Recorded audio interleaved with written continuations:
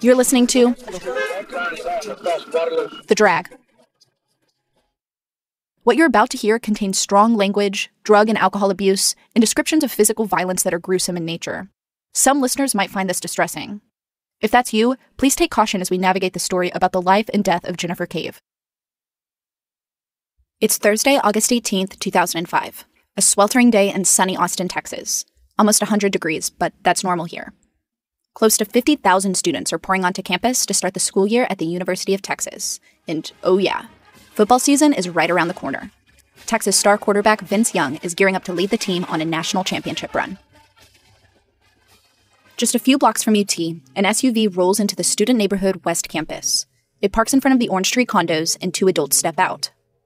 The narrow tree lined streets are filled with U Hauls and minivans. Parents and students are everywhere, unloading boxes and moving furniture into apartments. At the stately Greek houses around the neighborhood, members of UT sororities and fraternities are starting their yearly rituals.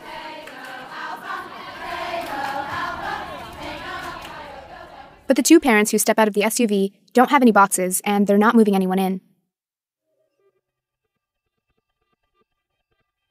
Sharon Cave and her boyfriend Jim Sedwick have just driven up to Austin from their home in Corpus Christi, a coastal town about three hours away. Sharon and Jim are here because Sharon's daughter Jennifer lives in Austin, and she hasn't returned any of their calls. And the day before, Sharon got a call from Jennifer's new boss at a law firm saying she didn't show up for her first day at work. Sharon's worried because this isn't like Jennifer. I mean, the minute I got the call from the law firm saying she didn't show up, I I knew something was wrong. Um, just wasn't like her to do that, especially on something she was so proud of. Jennifer is a caring, red haired 21 year old. Like many people her age, she's figuring out how to be a responsible adult. Her family thinks that this new job is a turning point for her. Looking around the street, Sharon and Jim spot Jennifer's car parked outside of the Orange Tree condos. But they still can't find her. Hi, I'm Haley Butler. And I'm Tanu Thomas. This is the first episode of The Orange Tree.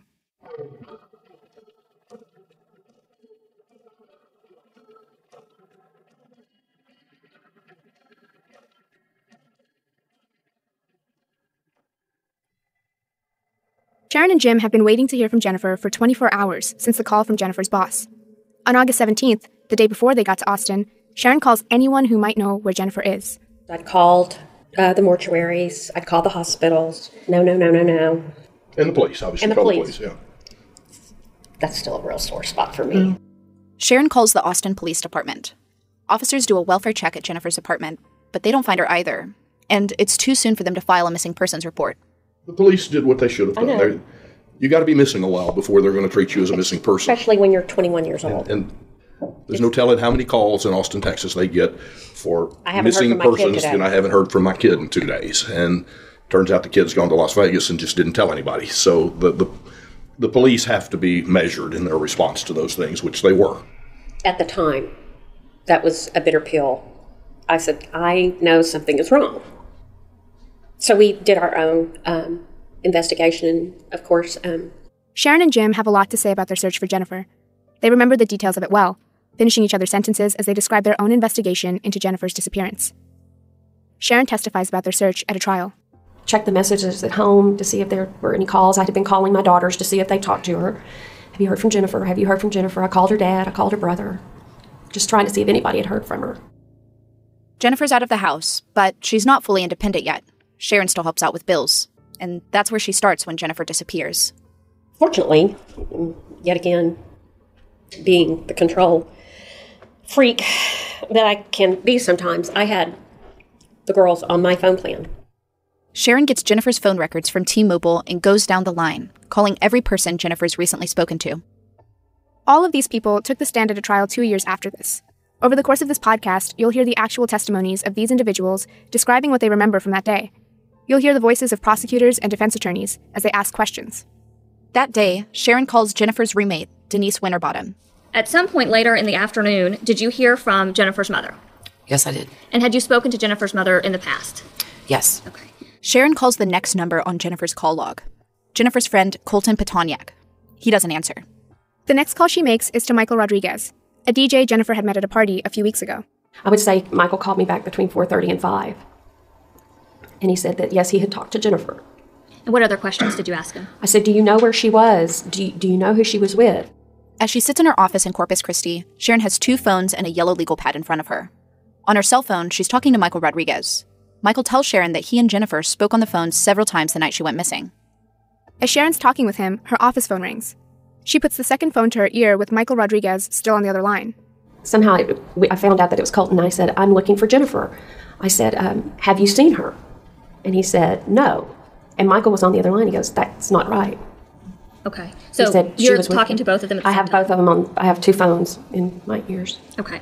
Michael tells Sharon that can't be true. Jennifer told Michael she was going downtown that night, and she was going with Colton. Michael testified about these calls in a trial years later.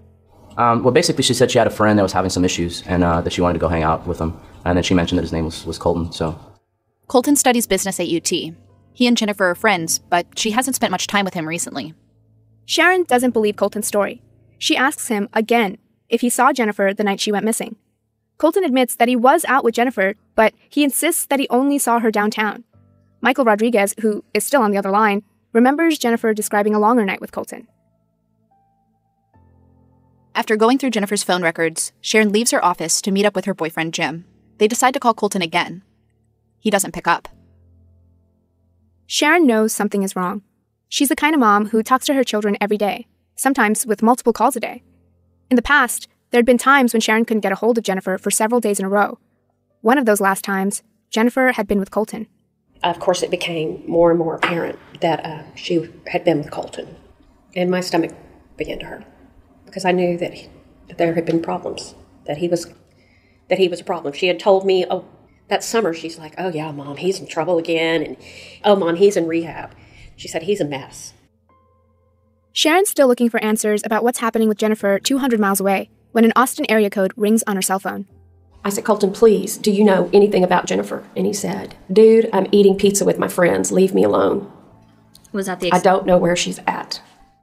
Sharon and Jim stay the night in Corpus Christi. They'll head to Austin first thing tomorrow. Jennifer's sister Vanessa, who lives in Dallas, will meet them in Austin.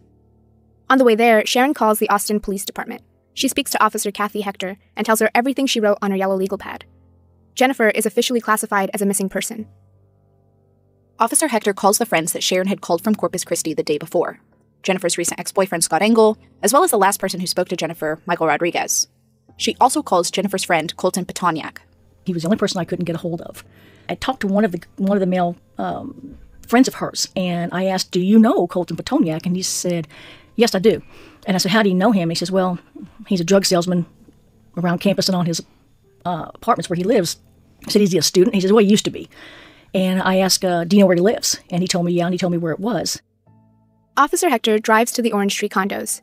There, she finds Colton's white Toyota Avalon and Jennifer's black Saturn Ion. She places her business cards on both their windshields and heads up to Colton's apartment on the second floor. She knocks on the door of Unit 88. No answer. She wedges her business card in the door and calls Sharon. She tells her that Jennifer's car is at Colton's apartment and that nobody's answering the door. When I said, I, I can't do anything else because we think she's probably with him. She could have run off and gotten married. I don't even, we don't know what the circumstances are, but I can't do anything else at this point. This is the last thing Officer Hector can do for Sharon and Jim. She leaves the orange tree. When we started this podcast, we had a lot of questions, and not just about the case. Getting a podcast to listeners like you isn't all that easy, but it can be with Anchor. Anchor makes podcasting easy, and I know what you're thinking, so I'll stop right here and say it's free. Like, really, really free. For a student podcaster like I was, that's a pretty, pretty, pretty good deal. If you don't believe me, download the Anchor app for free or go to anchor.fm and you'll see what I mean. You'll find tons of tools that'll help you with everything from recording and editing your podcast all the way to actually making some money for all your hard work. Oh, and Anchor doesn't require a minimum number of listeners on your episodes for the money to start rolling in. So visit anchor.fm today or get the Anchor app to see what I mean. From Campside Media, Chameleon's new second season, High Rollers, tells the seedy story of Operation Botox, an FBI undercover investigation designed to catch money launderers. This mind blowing heist involves all the classic Las Vegas highs and lows a reported love triangle, parties, strippers, and millions of dollars. It's exactly like you see in the movies, except this actually happened. It's an investigative thriller that challenges listeners to consider and question the enormous unchecked powers of the FBI and federal agents' decisions to investigate unsuspecting Americans. High Rollers launches on June 15th, wherever you get your podcasts. Sharon and Jim get to Austin. They drive past the University of Texas campus and into the student neighborhood. They find Jennifer's car. She must be close. They walk up to the second floor of the Orange Tree, to Unit 88. The door is a faded burnt orange, UT school color, with a gold tinged 88 marker right in the middle. No answer. The blinds are down on the three windows to the right of the doorway. They knock again, this time louder and longer, and continue to wait. Where could Jennifer have gone without her car?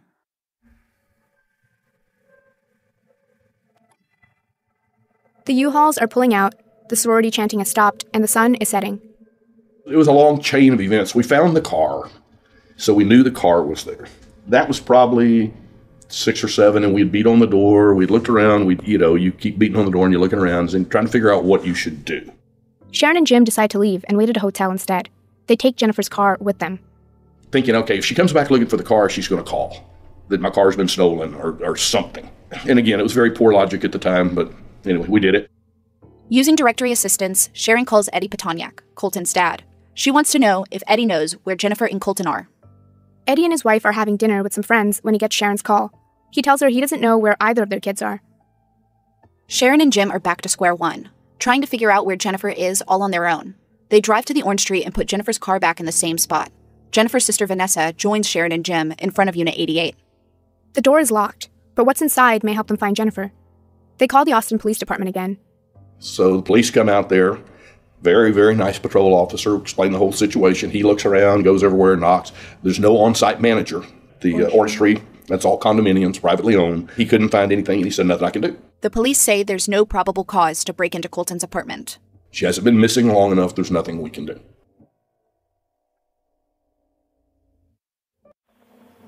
From Neon Hum Media, Smokescreen's newest season, I Am Rama, tells the story of spiritual teacher Dr. Frederick Lenz III, better known as Rama, through the eyes of his students, some who loved Rama and others who denounce him to this day. Hosted by award winning journalist Jonathan Hirsch, I Am Rama features personal stories from the people who studied with Rama, as well as interviews with family members of followers who went missing three decades ago. Subscribe and listen to Smokescreen, I Am Rama, on Apple Podcasts, Spotify, Stitcher, or wherever you listen to podcasts. It's nighttime now, and Jennifer's family is still waiting outside of the orange door of Unit 88. Sharon notices something out of place about one of the unit's three windows. Sharon spotted this little broken piece of glass about the size of a nickel up in the corner of one of those windows. And so I had a pair of broken sunglasses in the uh, in my vehicle. So I went down there and got this piece off of a sunglass, and we were able to pick that piece of glass out of there. That eventually led to being able to get the window unlatched. And that's when I went in through the window, and it was very very dark. Had a, all I had was a flashlight, and I started yelling in there. It's Jim. I'm not here to hurt you. I'm looking for Jennifer. Don't shoot. Sharon and Jim are not married at this point, but he's been a father figure to Sharon's kids for years, taking them on camping trips and helping them through the challenges of becoming adults. Jim has a close bond with Jennifer. He and Sharon have been struggling to help Jennifer get on the right path. Jim calls Jennifer rudderless. Jennifer phones him frequently for life advice and direction when she feels lost. She doesn't know what she wants to do with her life or where she belongs, just that she wants to make him and Sharon proud. When she gets her new job, Jennifer calls right away to let them know that she's found her rudder. But now, Jim can't find Jennifer. So I was yelling, and of course there was no response, and so stood there for a few minutes making sure that somebody wasn't going to wake up. and There wasn't some response before I went over that couch, you know, into the room. Anyway, then obviously the rest wound up finding the body. Jim backs out of the apartment and blocks the door. He tells them to call 911 immediately. Jim just saw something that no parent should ever have to see. He's found Jennifer's body. And I never let, she wanted to go in, Vanessa wanted to go in, and I just said, call 911. Austin 911, Denise Police Fire or EMS. Please hurry, please hurry. Address of the emergency? It's at Orange Street Apartment, 25th Street. Yes, sir, this is 911. We have a lot of help on the way. I just need to be able to confirm if she is conscious and breathing. No, I think she's dead. Okay, so you, she is past, uh, you believe she's passed doing CPR? I do, and I also believe that we've got a crime scene here that I don't want to disturb. Okay.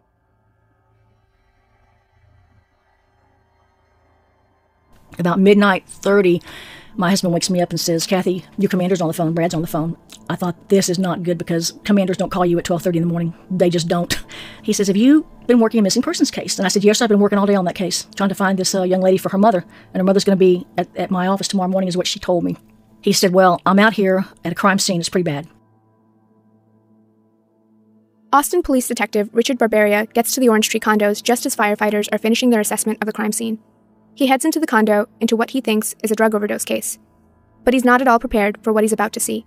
Can you describe for us what it was you saw? It was a, a, a female body with a, the head missing and the hands missing, and it was uh, propped up in the bathtub facing the doorway. So basically, when I walked in, her body is, is basically like this, facing the doorway. And it caught me off guard because I'm, I had my flashlight, even though the light's on. I'm like, okay, where's her head?